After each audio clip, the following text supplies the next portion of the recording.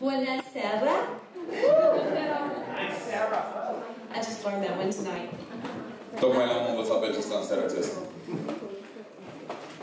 Um, my name is Deborah, Numele este Debra. and my husband is Michael, my handsome husband.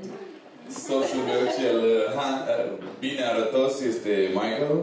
And my two daughters are uh, Grayson and Samantha. Și bineînțeles uh, cele două fete ale ei, uh, Grayson și Samantha. And we are here from Florida in the United States. Și suntem aici uh, din uh, Florida, din Statele Unite. And we're so thankful to be here. Și suntem mulțumitori să fim aici. It's been a real blessing, more to us. A than fost o anything. binecuvântare mai mare pentru noi decât orice altceva. Um, when I was a little girl, I grew up in a Christian home, just like so many of the other testimonies that you've heard this week.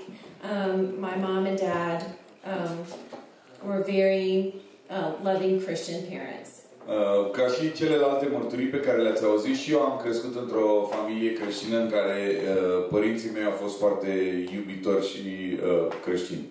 Um, they talked about God and took me to church and um, taught me to pray.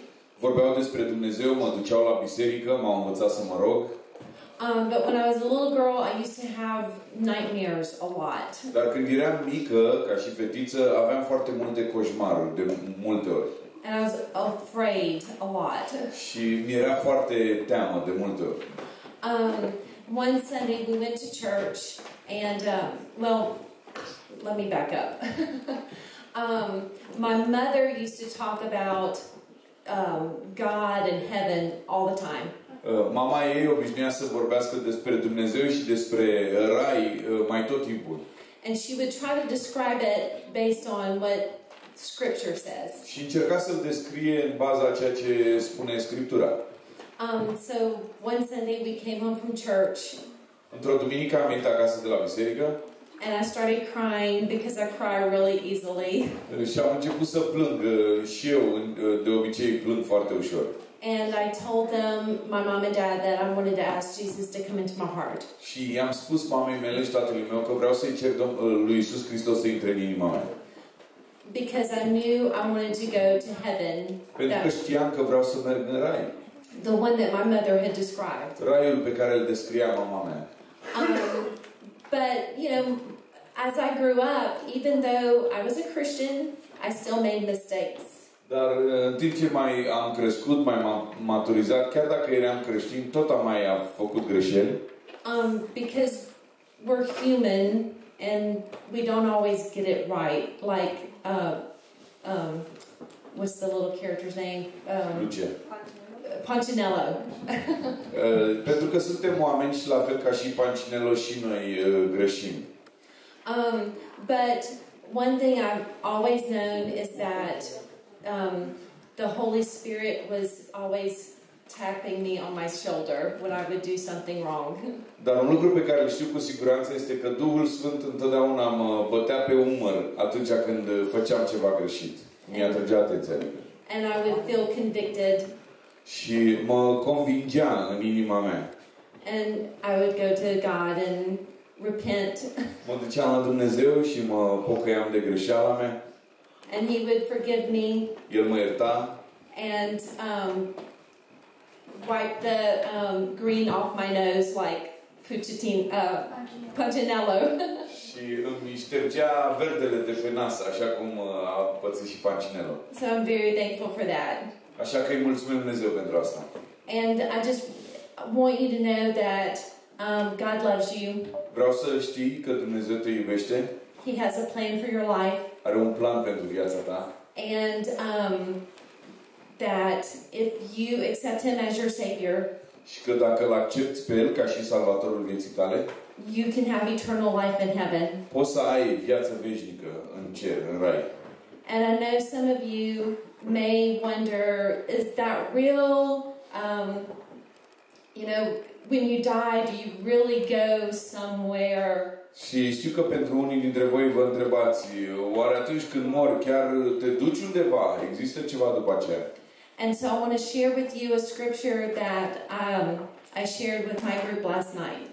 Și vreau să împărtășesc cu voi câteva versete pe care le-am împărtășit și cu grupul meu aseară. It's John 14, Este în uh, Ioan 14, 1 through 6. de la 1 la uh, 6.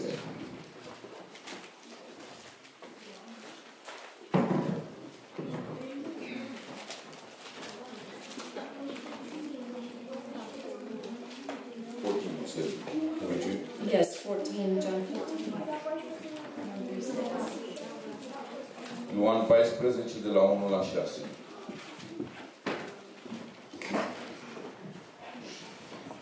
Did you know reading it?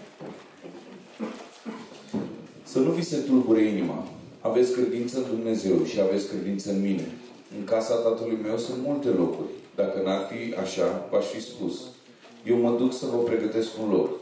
Și după ce mă voi duce și vă voi pregăti un loc, mă voi întoarce și vă voi lua cu mine, ca acolo unde sunt eu, să fiți și voi. Știți unde mă duc și știți și calea într-acolo. Doamne, i-a zis Toma, nu știm unde te duci. Cum putem să știm calea într-acolo? Iisus i-a zis, Eu sunt calea, adevărul și viața. Nimeni nu vine la Tatăl decât prin mine. Amin. Um, one thing I want to tell you is a little, it's a little funny. Vre- Vreau să vă zic ceva ce mi s-a întâmplat mie într-o zi din viața mea. I told my uh, group last night, I said, there's one thing that God cannot do. I-am spus grupului meu de aseară că există un singur lucru pe care Dumnezeu nu poate să-l facă. God cannot lie. Dumnezeu nu poate să mintă. So when Jesus tells his disciples that he is going to prepare a place for you, Așa că atunci când Iisus Hristos le spune ucenicilor că se duce să ne pregătească nouă un loc pentru noi, it's true. e adevărat. It's a real place. E un loc real. God does not lie Pentru că Dumnezeu nu poate să mintă. because he says in that last verse, verse 6, that he says, I am the way, the truth, and the life, and no one comes to the Father but through me. Pentru că ne spune în uh, acel verset în 14 cu 6, Eu sunt calea, adevărul și viața. Nimeni nu vine la Tatăl decât prin mine. Vă mulțumesc.